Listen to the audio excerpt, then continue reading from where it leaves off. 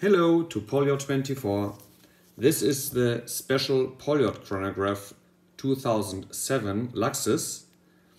This watch was made by Poljot in Moscow in 2007 and never put on the market. Now we had the chance to get them. They are limited to just this 150 pieces. This is the blue dial version with 42 millimeter diameter, stainless steel case and sapphire crystal. It has a movable lunette here over this additional crown.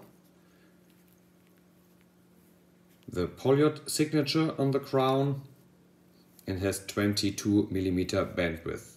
It comes with original Poljot strap, a big Poljot black box and is the possibility to collect and to get one of these very rare and exclusive Poljot watches.